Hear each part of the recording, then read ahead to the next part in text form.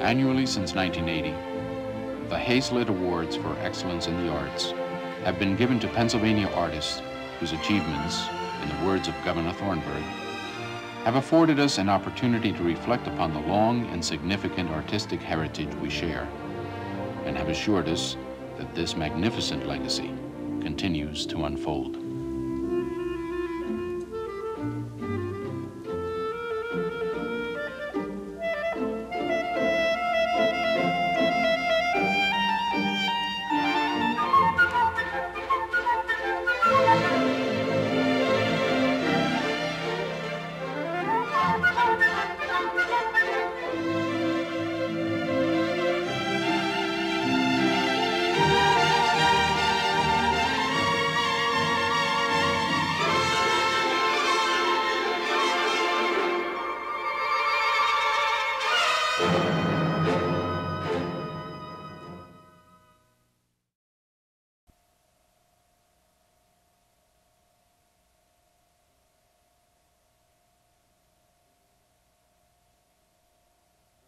One, two, three, four.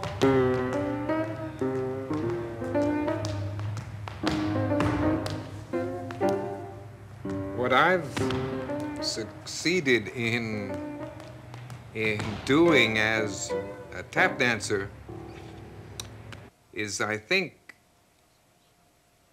on the somewhat selfish side. I have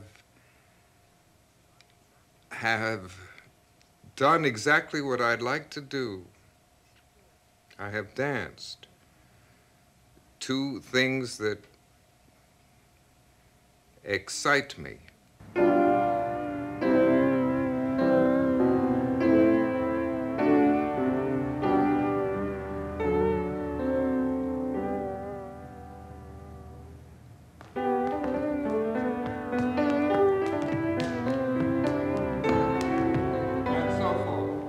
It seemed and seemed to me naturally to tap dance to classical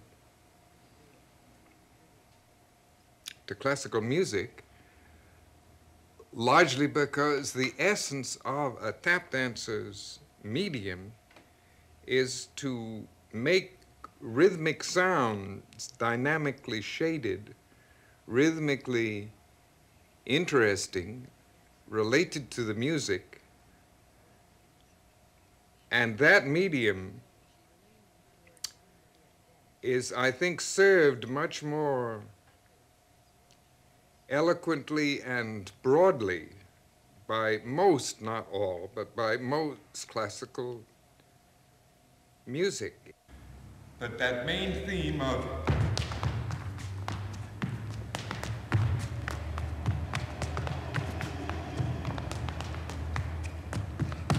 goes throughout the dance. And it's from the satisfaction of knowing that you found a way to do something relative to your idea and to the music and also relative to your dancing, which you hope is able to make you relative relative to an audience so that you can communicate and learn and explore with them forever and ever. It's not far from forever and ever. Oh, one, two, three, ad lib, Bill.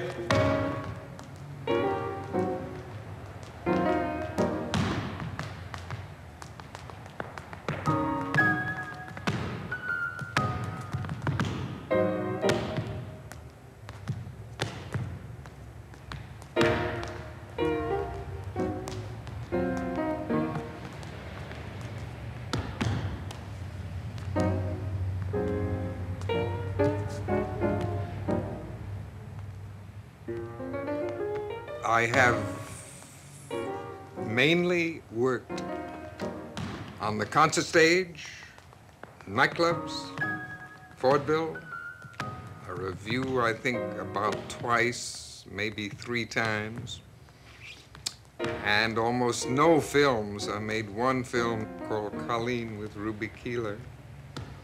I did Saroyan's The Time of Your Life with Jimmy Cagney. I have uh,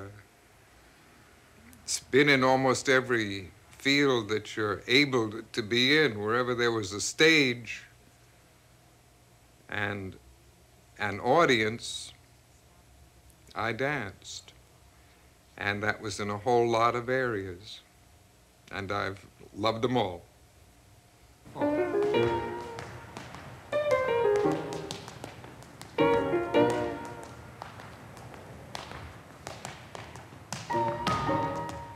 Decide to go on with it forever, as long as you can at any rate, because it is your life and because it is your love. It's like your eyes or your skin or your hair or it's who you are.